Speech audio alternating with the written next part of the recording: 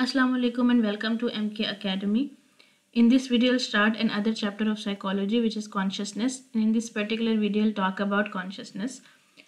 Basically consciousness क्या होती है ये कॉन्शियस का वर्ड जब आपके माइंड में आता है तो आपके सामने ये बात आती है कि आ, कि ऐसी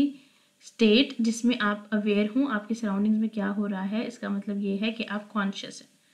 ऐसे स्टेट में होना कॉन्शियस स्टेट में होना कहलाता है और कॉन्शियसनेस कहलाती है। लेकिन एक्चुअल डेफिनेशन ऑफ़ कॉन्शियसनेस हमें ये बात बताती है कि ना सिर्फ़ आप अपने सराउंडिंग से जब अवेयर होते हैं तो आप कॉन्शियस होते हैं बल्कि कॉन्शियसनेस इन्वॉल्व कि आप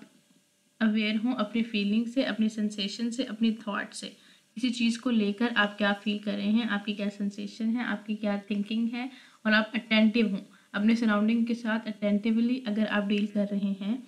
अटेंटिवली आप एक्ट और रिएक्ट कर रहे हैं तो इसका मतलब ये है कि आप एक कॉन्शियस स्टेट में हैं। अब कॉन्शियसनेस की हमारे पास डिफरेंट टाइप्स होती हैं। सबसे पहली और सबसे बेसिक जो टाइप है, वो है वेकिंग कॉन्शियसनेस वेकिंग का मतलब होता है कि उठी हुई कॉन्शियसनेस ऐसी कॉन्शियसनेस जो आपकी जागी हुई कॉन्शियसनेस कहलाएगी, या उस वक्त में होगी जब आप फुली फ्रेश होंगे और आपकी अपने थॉट्स के बारे में क्लियर होंगे, आप अपनी फीलिंग्स और सेंसेशंस को लेकर क्लियर होंगे और वो ऑर्गेनाइज्ड होंगी। आप फुली अलर्ट कंडीशन में जब होते हैं तो उसको वेकिंग कॉन्शियसनेस कहा जाता है। लेकिन डेली एक्टिविटीज़ के दौरान ऐसा होता है कि आप, की जो कॉन्शियसनेस है, वो अल्टर अल्टर हो जाती है, यानी कि बदल जाती है, यानी कि आप इतना फ्रेश नहीं फील कर रहे होते, आपके सामने चीज़ें हो रही होती हैं और आप उनको सही से नोटिस नहीं कर पाते, या आप छोटी छोटी चीज़ें रख के भूल जाते हैं कि अभी तो मैंने ये चीज़ कहीं रखी थी, अब आपको पता नहीं चलता कि आपने कहीं, कहाँ रखी है। या सबसे ईजी और अच्छी एग्जांपल ये होती है कि आप किसी रूम में एंटर करते हैं और आपको ये बात नहीं समझ आती कि आप इस रूम में क्यों एंटर हुए और आपको कुछ सेकेंड्स लग जाते हैं या कुछ मिनट्स लग जाते हैं ये बात वापस से अपने कॉन्शियस में लाने के लिए कि आप क्यों आए थे उस रूम में। ऐसी कंडीशन को अल्टर्ड कॉन्शियसनेस कहा जाता है, जिसमें कि आपकी मेंटल एक्टिविटी वेकिंग कॉन्शियसनेस पर नहीं होती और आपको चीज़ों को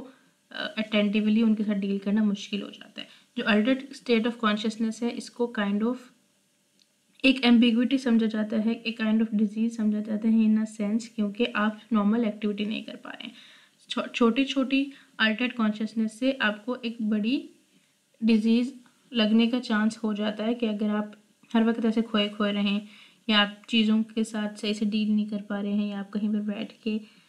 किसी और ही जगह पे गायब हो जाते हैं, वो आपकी बेसिकली अल्टर्ड कॉन्शियसनेस कहलाती है कि आप कोई काम कर रहे हैं लेकिन आप किसी और चीज़ के बारे में सोच रहे हैं तो आपका उस काम के ऊपर फोकस नहीं रहता। अल्टर्ड कॉन्शियसनेस की वजह से इंसान की डेली एक्टिविटीज़ बहुत बुरी तरह से इफ़ेक्ट होती हैं। बेसिकली हम ये बात देख चुके हैं कि कॉन्शियसनेस में अवेयरनेस होती है आपके थॉट्स के बारे में।